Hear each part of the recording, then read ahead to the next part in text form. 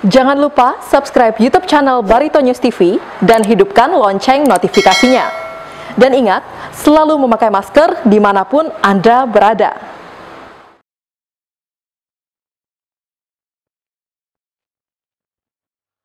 Guna membantu warga masyarakat yang terdampak pandemi virus corona, Komando Rayon Militer atau Koramil 1012 10 Buntok membagikan paket sembako kepada warga di Kota Buntok dan sekitarnya secara gratis. Dan Ramil 1012 10 Buntok, Kapten Obal Jaran Masa menyampaikan, paket sembako itu dibagikan kepada masyarakat yang membutuhkan. Pemberian paket sembako sudah melalui survei dan didukung data dari kelurahan setempat sehingga diharapkan paket sembako itu akan diterima langsung oleh warga yang membutuhkan.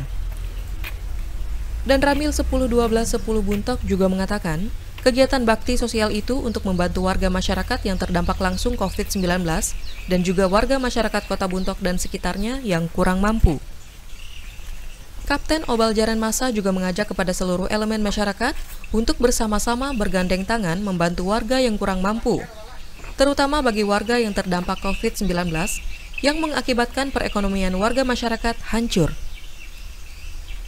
Dalam kesempatan itu, dan Ramil 10-12-10 Buntok menghimbau kepada seluruh masyarakat untuk menuruti aturan dari pemerintah, supaya untuk bersama-sama melawan COVID-19, agar menerapkan protokol kesehatan dengan cara selalu mencuci tangan saat sudah beraktivitas, hindari kerumunan, menjaga kebersihan, menjaga jarak, dan yang paling penting lagi, menggunakan masker saat keluar rumah. Dan Ramil 1012 10 Buntok menambahkan, bagi masyarakat yang tidak terlalu penting keluar rumah, disarankan agar tetap berada di rumah demi memutus COVID-19. Dia juga berharap COVID-19 cepat berlalu di bumi Dahani Dahanai, Tuntung Tulus.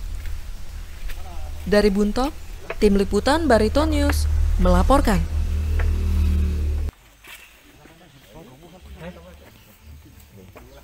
Jungkel kita.